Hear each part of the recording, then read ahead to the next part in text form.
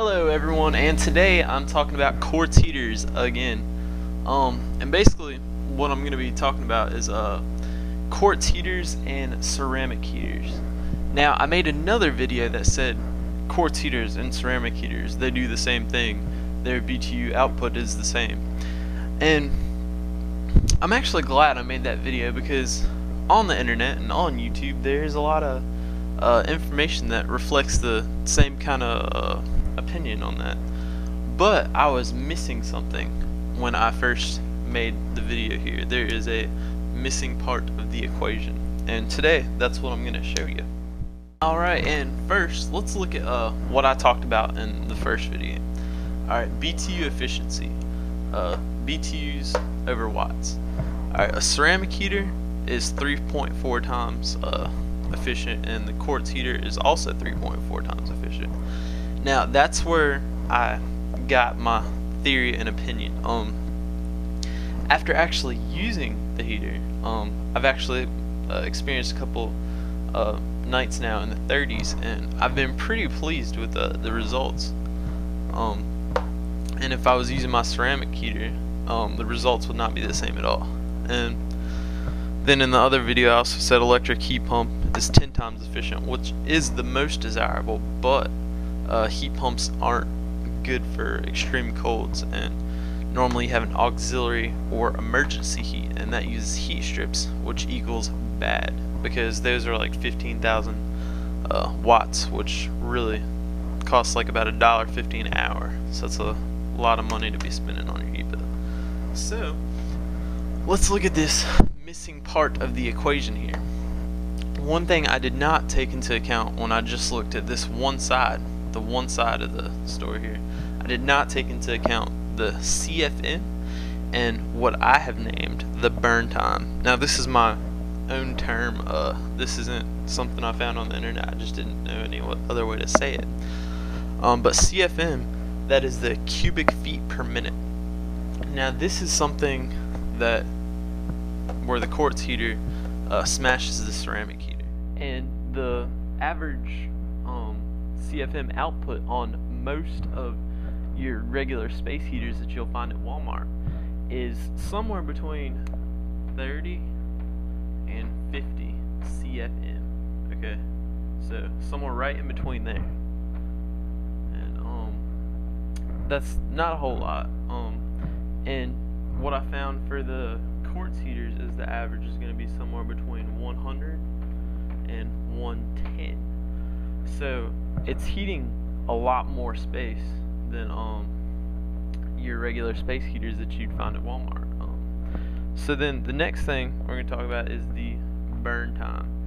And I couldn't think of any other way, to, better way to say it, but um,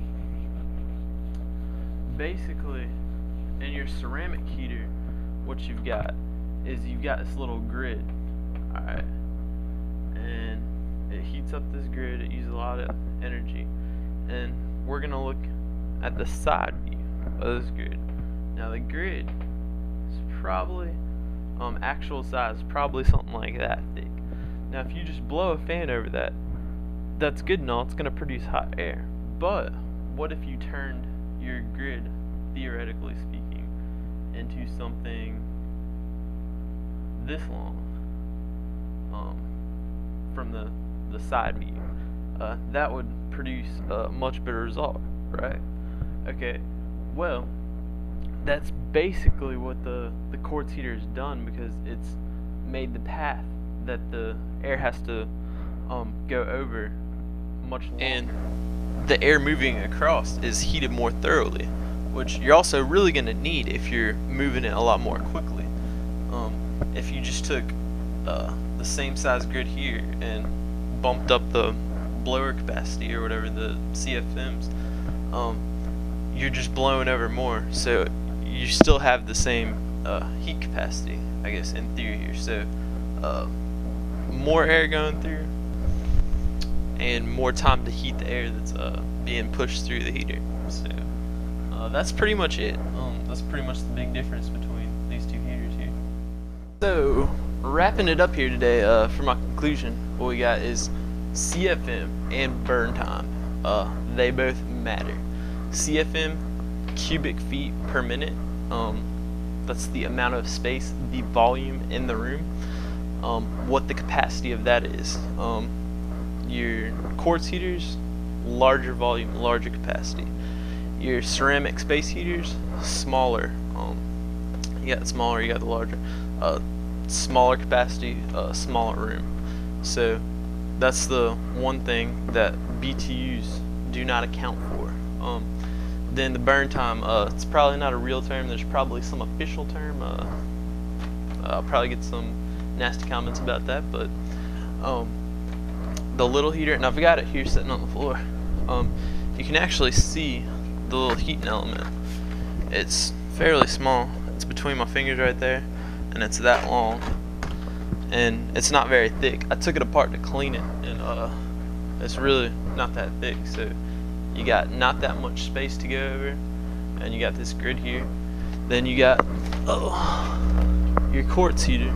Uh, it's fairly larger. It's got a lot of uh, room in there. Um, you got a much uh, longer area to go over that's heated, which again is needed for more CFM. More volume equals more uh, heat needed to uh, produce for the volume. So, um, and here I just got the one grid, and right here you've got uh, like a series of chambers that um, the air is gonna flow over. Again, gives it more time with the heat uh, to heat up the air properly. So, and then we'll also, I'm just gonna show you here on the ground. You can see there's a big size difference there. Um, like I said again, here we got the, you can see in there the like I showed you before, the element, and um, it's not very big. You can almost see in there too. I can, I don't know if it'll show up on the camera, but you can see the blower motor. And um, if you can imagine, the motor starts right there, and the actual uh, fan circular thing, it's about that big, that long. Um, so that's really all there is to it. And then this one, obviously, it's a much larger, uh, larger capacity much better for volume. So it's not such a bad thing uh, like I thought it was at first. Um, and that pretty much wraps up today's video uh, on quartz heaters. Well, thanks guys for watching.